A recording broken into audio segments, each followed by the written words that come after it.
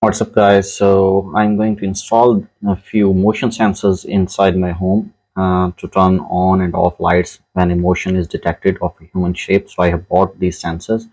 On the back you can see that you have two kind of settings because it is a motion sensor as well as a light sensor. So on the back you can see you can adjust the light settings, deep dark, light dark all day and then delay which can be for 15 second, 45 second and 5 minute now coming to the wiring many people get confused by it like which part of it is output and which part is input. So uh, forget about the colors of the wires.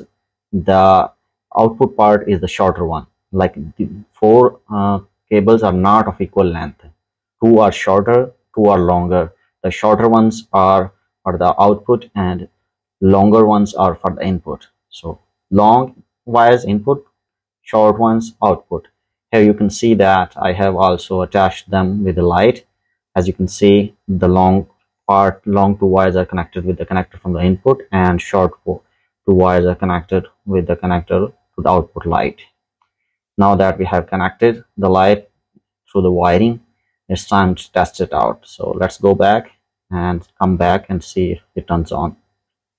And here we go. See, it turned on as soon as I entered this wardrobe area and uh, uh, let's go let me actually show you where the sensor is. So see it is installed right next to the light itself.